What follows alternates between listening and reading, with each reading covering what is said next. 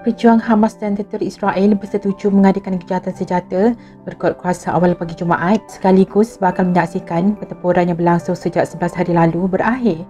Serangan dilancarkan oleh rejim Zionis pada 10 Mei lepas ketika umat Islam sedang menunaikan ibadah berpuasa di bulan Ramadan.